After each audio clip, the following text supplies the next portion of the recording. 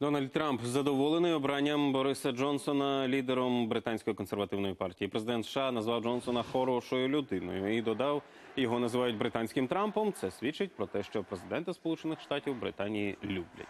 Раніше Трамп заявляв, що є ближчим до Великої Британії ніж будь-який інший американський лідер, посилаючись на шотландські корені своєї матері та два поля для гольфу, якими він володіє.